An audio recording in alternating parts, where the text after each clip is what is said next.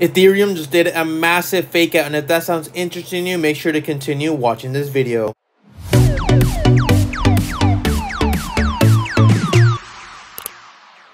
Hey guys, Pingu Charts here. Welcome back to another Ethereum analysis. As always, if you do enjoy my content, make sure to hit that like and subscribe button. Now, yesterday we did see a fake out on Ethereum. I mentioned that if we can break below this 1278 level and get a clear confirmation, we would be looking at a massive move to the downside. Now, we did break briefly below and we see these three wicks on Ethereum, but we didn't get that close below, right? We still bounced off support and this was a confirmation candle to continue higher. Now, whether or not this was a fake candle because as you guys can see it was just a straight candle up. We are looking for a consolidation move back to the upside to around the 14 20 dollar level. Now again if we do reject these exponential moving averages and we can't get above as you guys can see right now we're already seeing that resistance off the 50 exponential coming down.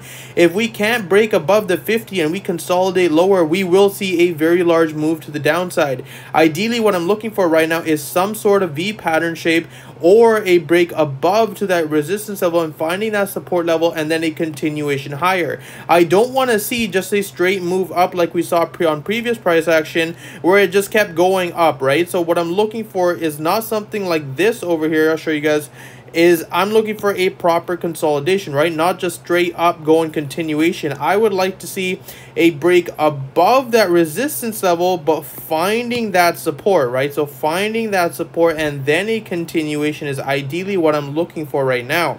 Now on the lower time frames for Ethereum, we can see that we are doing a little bit better, right? We are still trading above the exponentials and you can see all three of them are now getting consolidated very closely. So we will likely see a larger move probably probably to the upside on Ethereum, right?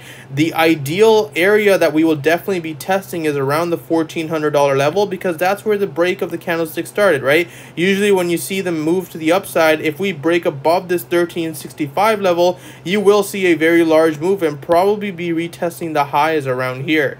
Now, let's say for the bearish standpoint, if we can't break above that level and let's say we consolidate below these exponentials, I would be expecting a retest around the 1278, but I don't see a holding very much. You can see the only reason we bounced over here was because we were trading right above that support level, right? This was a candlestick confirmation that yes, the bulls are still in control and the continuation higher is still likely. Now, let's say we tread back down and then we start consolidating, but we see a break below, right? We start trading like this. Only then I will say then yes, we are in a bearish state and we were probably expecting a large move on Ethereum to the downside. The next support level for us, as we know, is $1,000. So whether or not Ethereum can hold that level is going to get extremely interesting. But that's pretty much all I have for you guys today. As always, if you do enjoy my content, make sure to hit that like and subscribe button. And I hope you guys have a wonderful day.